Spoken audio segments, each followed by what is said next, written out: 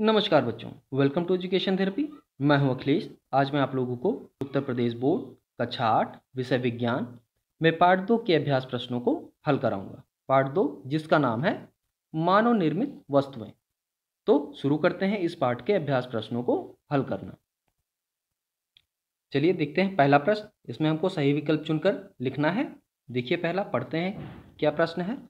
Thermocol का दूसरा नाम है। तो थर्माकोल को हम दूसरे नाम से भी जानते हैं और वो नाम होता है स्टाइरोन, ठीक है? तो यहाँ पे सही हो जाएगा हमारा स्टाइरोन।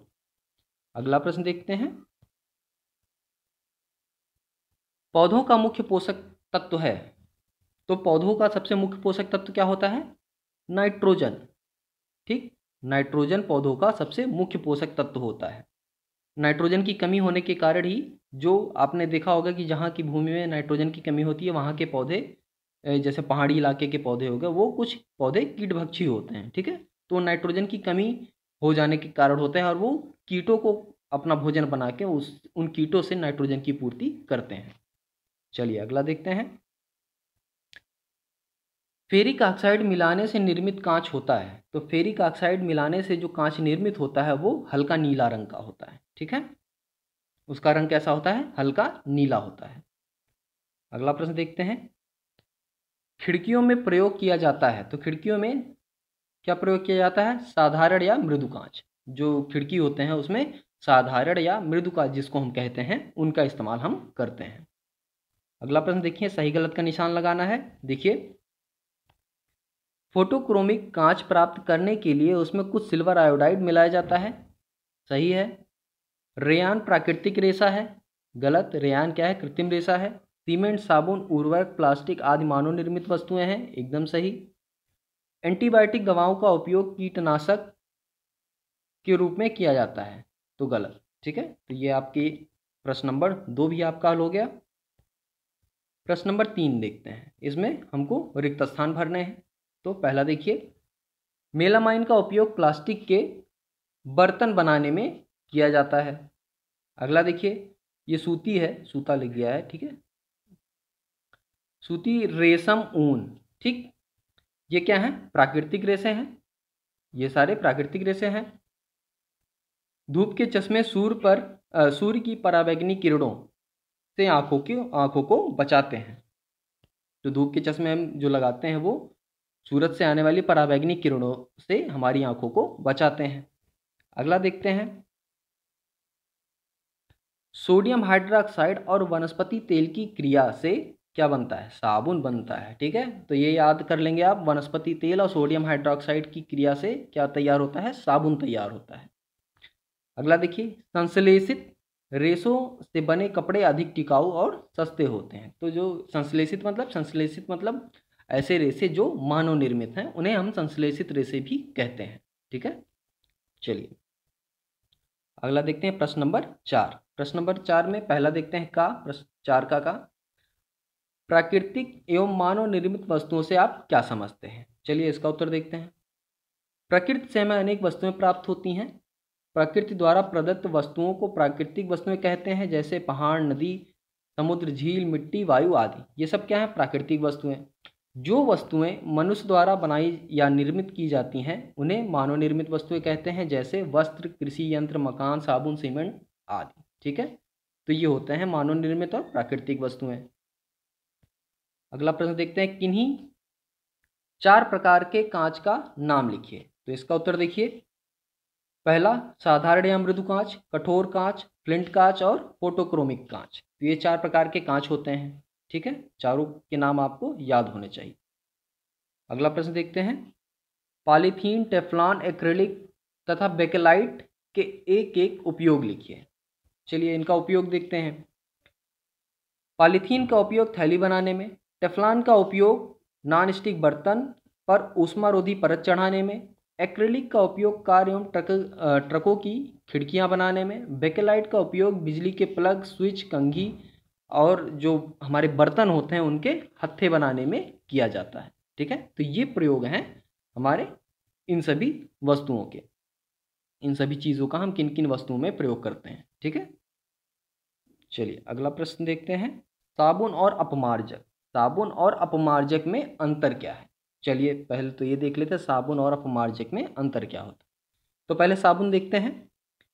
यह वनस्पति तेल और सोडियम अथवा पोटेशियम हाइड्रोक्साइड की पारस्परिक क्रिया द्वारा बनाया जाता है। फिर कठोर जल के साथ साबुन एक सख्त पदार्थ बनाता है। इस प्रकार ना तो झाग बनती है, ना ही सफ़ाई होती है।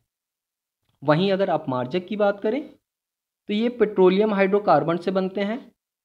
ये कठोर जल के साथ भी आसानी से झाग बनाते हैं। इस प्रकार कपड़े सुगमता से साफ़ हो जाते हैं। यानी जो सर्फ यूज़ करते हैं आप या डिटर्जेंट केक यूज़ करते हैं, डिटर्जेंट केक मतलब जो रिन, साबुन और ये सब यूज़ करते हैं, वो क्या है? एक तरह से अपमार्जक है, ठीक है? चलिए। अगला प्रश्न देखते हैं। मृतिका क्या है? मृतिका क्या है? उच्च ताप पर पके हुए बर्तन अर्थात पकी हुई मिट्टी को ही मृतिका कहते हैं, ठीक है? तो मृतिका क्या है? पकी हुई मिट्टी को ही मृतिका कहते हैं।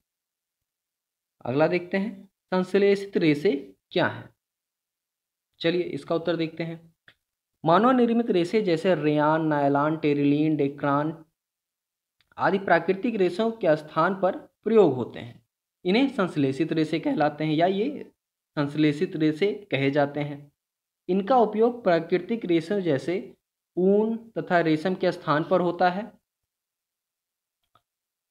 संश्लेषित रेशे प्रायः उन, ऊन तथा रेशम की भांति ही दिखने वाले बनाए जाते हैं। यानी आपने देखा होगा कि ऊन और रेशम की भांति ही ऐसे बहुत सारे रेसे आते हैं, डेक्रान हो गया, नायलान हो गया, जिनका इस्तेमाल हम वस्त्र बनाने में या और भी कई चीज़ों में करते हैं। ठीक है? चलिए पांचवा प्रश्न देखते हैं, क्या कह रहा है? खंडका के अधूरे वाक्यों को खंडका की सहायता, खा की सहायता से पूरा कीजिए, यानी खंड का और खा में संबंध देखना है हमको। चलिए, मनुष्य अथवा मशीन द्वारा तैयार की गई वस्तुएँ, मानव निर्मित वस्तुएँ कहलाती हैं, ठीक है? इसका संबंध है। फिर, मकान बनाने में ईंट, सीमेंट, सरिया आदि का प्रयोग किया जाता है। सीमेंट के नए प्लास्टर पर पानी का छिड़काव आवश्यक होता है।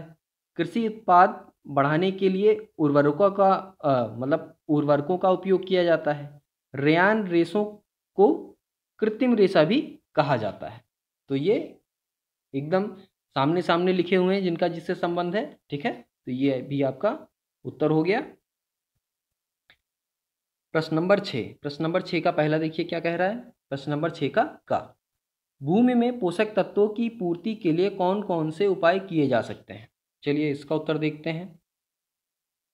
भूमि में पोषक तत्वों की पूर्ति के लिए निम्न उपाय किए जा सकते हैं। पहला देखिए, भूमि को जोतकर कुछ समय के लिए छोड़ दिया जाए, जिससे पोषक तत्वों की पूर्ति पर्यावरण से स्वतः होती रहे।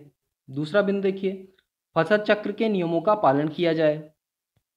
तीसरा बिंदु देखते हैं, भूमि के पोषक तत्वों की तत्काल पूर्ति के लिए विभिन्न रासायनिक खादों का प्रयोग किया जाए।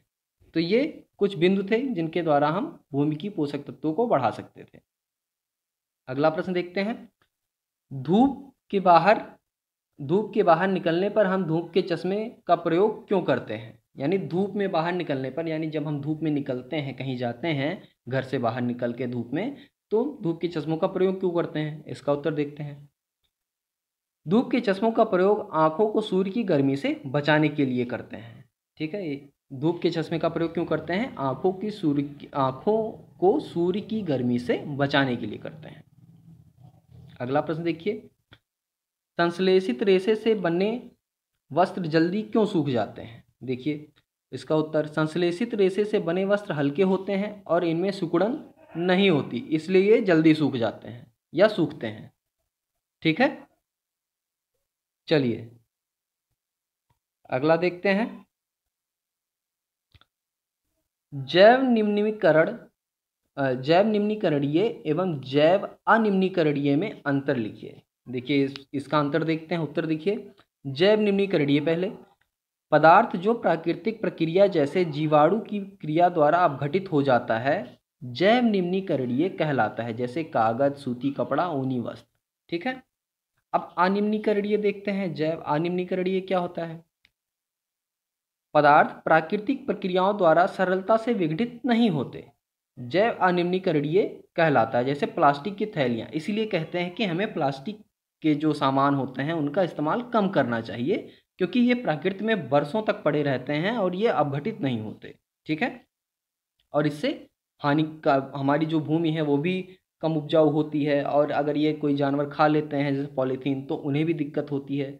ठीक है? तो बहुत सारी परेशानियाँ होती हैं, इसलिए पॉलीथीन का इस्तेमाल कम से कम करना चाहिए। चलिए। तो ये सारे प्रश्न आपके हल हो चुके हैं इस पाठ के। अगर कहीं कोई दिक्कत है, कोई डाउट है तो आप कमेंट बॉक्स में कमेंट करके पूछ सकते हैं। ठीक है? अगर आप लोगों को वीडियो पसंद आई हो, अच्छी लगी हो तो प्लीज़ चैनल को सब्सक्राइब करें और साथ साथ टेलीग्राम चैनल को भी ज्वाइन करें, जहाँ पे आपको मेरे द्वारा बनाई गई जो पीडीएफ फाइल्स हैं, जो पाठ हम पढ़ रहे हैं और जो सोल्यूशन हम हल कर रहे हैं पाठों के, उनकी पीडीएफ फ़ाइल आपको वहाँ मिल जाएगी। तो ये था एंड इस वीडियो का। God bless you all